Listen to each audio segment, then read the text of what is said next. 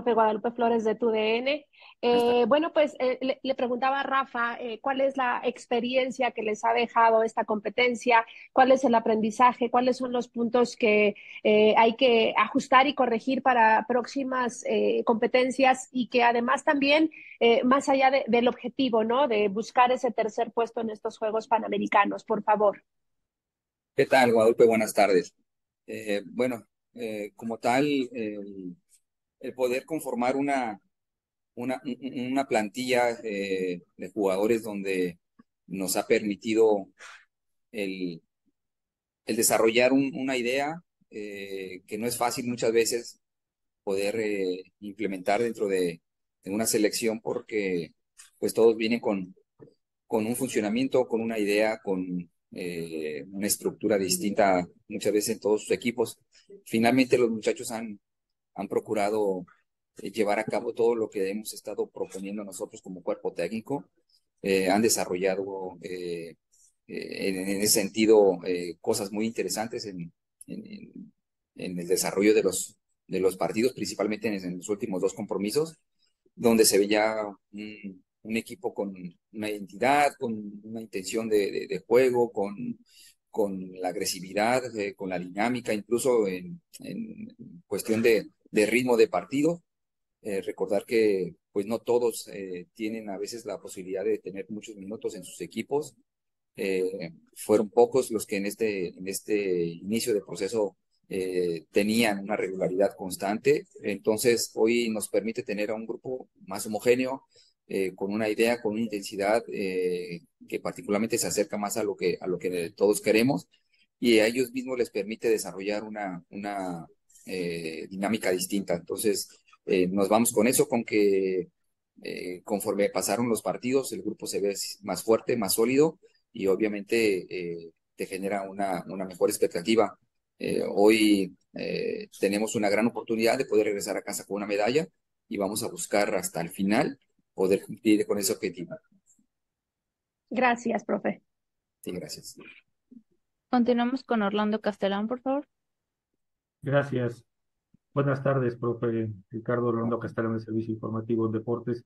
Profesor, eh, ¿qué tan complicado va a ser este partido contra la selección de Estados Unidos? Ya vienen creciendo los, equipos de, a nivel de selección de, Estados Unidos.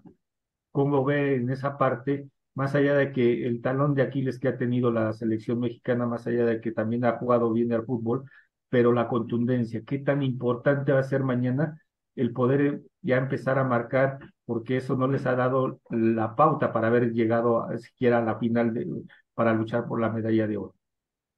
Totalmente, totalmente. Mira, más allá de, la rivalidad, como bien lo mencionas, eh, contra Estados Unidos, que sabemos que, que va, va, este, siempre ha existido y va a seguir existiendo. Por supuesto, eh, queremos eh, nosotros salir con la victoria, queremos ganar, queremos seguir imponiendo esa capacidad, esa, eh, ese nivel futbolístico que queremos defender, el nivel de, nuestra selección, pero has, has, comentado algo también que es bien cierto y que no podemos eh, engañar a nadie en ese sentido, porque si es algo que nos ha hecho falta es, eh, marcar goles. Y obviamente si queremos llevar a casa una medalla, pues tiene que ser con, con goles. Mañana será un partido en el que si nosotros sabemos eh, aprovechar los momentos de juego, sabemos aprovechar y capitalizar nuestras opciones y oportunidades frente al arco, por supuesto que va a ser un partido diferente y obviamente podemos eh, irnos a casa con, con una medalla. Eh, en ese sentido, sabemos que, que tenemos ese compromiso, esa responsabilidad de ganar el partido, pero por supuesto, y por encima de todo, pues el ser contundentes dentro del área.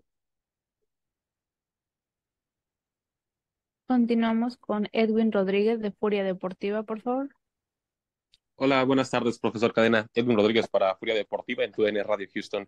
El día de mañana se juega el último partido del Tri Sub-23 en esta competencia. ¿Cómo puede describir el progreso de su plantel y si se encuentra usted satisfecho con los resultados que ha tenido hasta el día de hoy? Gracias. ¿Qué tal? Sí, es verdad, mañana es el último, el último partido de, este torneo en Panamericanos.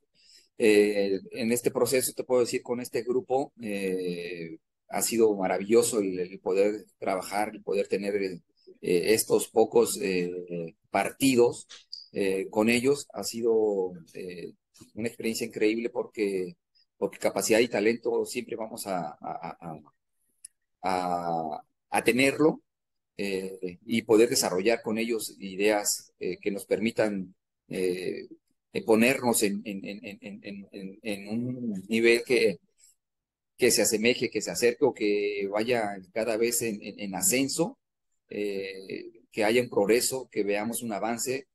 finalmente te deja, te deja muchas cosas como, como para rescatar, para resaltar y hoy te podría decir que ese proceso que ha sido corto, en el cual hemos eh, podido trabajar eh, eh, las fechas FIFA que nos ha permitido. hemos tenido cuatro partidos amistosos en este proceso, hemos tenido estos cuatro partidos ya aquí en, en, Panamericanos y, y, cada uno de los que se incorporan o llegan a incorporarse a esta selección, vienen con la mejor intención, con el mejor objetivo, con la, con la mente bien clara que en México y en la selección se viene a competir, no se viene a, preparar o a entrenarse o a encontrar, se viene a competir y eso es lo que ha hecho que este grupo en este periodo tan corto de los panamericanos haya conseguido eso, competir pero competir por un lugar, competir por un espacio y obviamente competir contra los adversarios. Y esa parte me deja a mí este, una, una bonita sensación y puedo decirte que, que eh, contento eh, con el rendimiento, contento con el desempeño, con la entrega, con la actitud, eh, no satisfecho obviamente con los resultados, pero contento en ese sentido y buscaremos mañana que esa parte se pueda reflejar con una medalla porque es lo menos que se merecen estos chicos.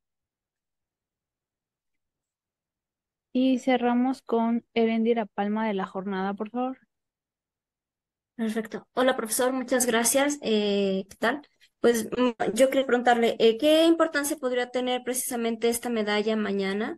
El refrendar el, mismo lugar que tuvieron hace cuatro años y también por la situación que ha vivido el fútbol mexicano, ¿no? Que está en un proceso de, de transición, de cambio. Eh, ¿qué significado puede tener el conseguir la medalla? Y otro pregunta si me permiten.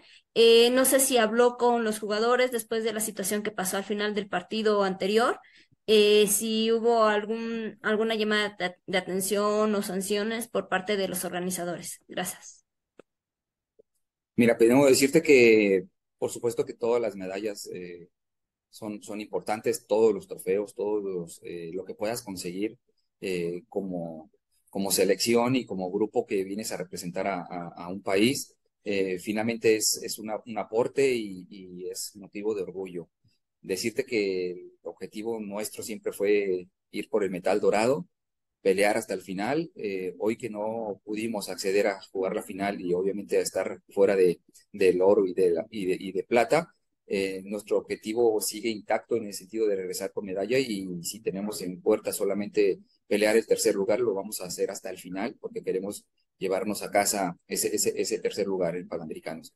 Em, después eh, de los incidentes que ocurrieron en el, partido, pues mira, fíjate que, hemos encontrado una situación eh, en la cual no ha sido eh, favorable para nosotros en cuestión de, los, de las suspensiones que tuvimos, como ya fue el caso de, Lara, que nos castigaron un par de partidos, que tampoco podemos contar con el día de mañana.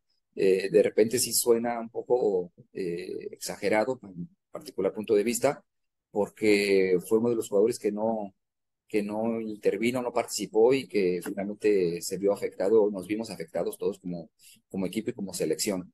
Eh, estamos ante una situación que, que nos impide tener en ese sentido al, al, plantel completo, pero los chicos que han estado trabajando y los que han estado en espera de una oportunidad están ahí, eh, están muy bien, están listos y queremos mañana eh, llevarnos a casa ese, ese tercer lugar.